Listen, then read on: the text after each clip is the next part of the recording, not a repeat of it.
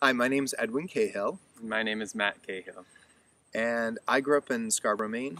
I've been living in New York City for about 20 years, and two years ago, bought a house in Cape Elizabeth and got married on this very spot to Matthew, my husband. Not someone else, thankfully. so now we're Mainers as well as New Yorkers, it's true. and we're going to do a very, what we hope to be a very special evening, coming back together. You might call it a wicked good concert. A wicked, a wicked kicker. We're really excited to present a concert celebrating this beautiful place and also the wonderful things that happen here, like falling in love, like getting farm fresh eggs.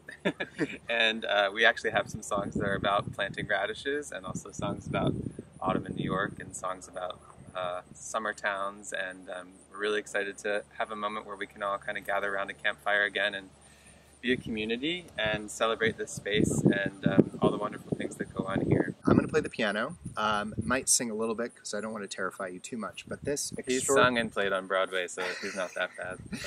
but- this this is uh, my favorite vocalist in the world. I think I fell in love with his voice first, and he does musical theater and has performed opera all over Europe.